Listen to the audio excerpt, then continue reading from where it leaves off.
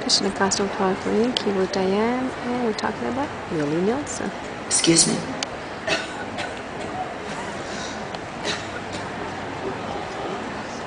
We had such an amazing time during the making of that film that afterwards, Willie Nelson, I don't know if you know this, has a picnic every year.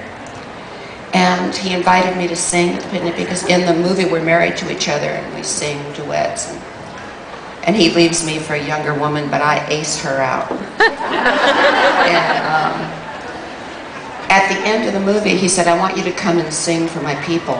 I've never ever had the pleasure of singing in front of 120,000 stoned people. and oh, did they love me.